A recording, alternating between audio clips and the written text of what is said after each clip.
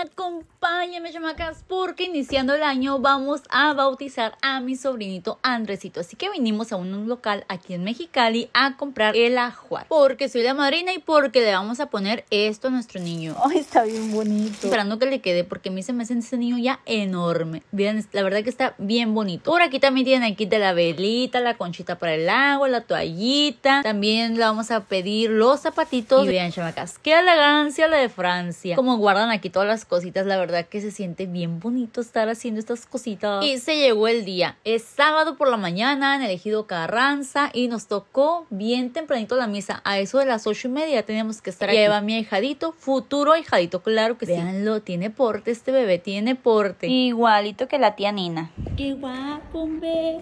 Qué guapo, mente.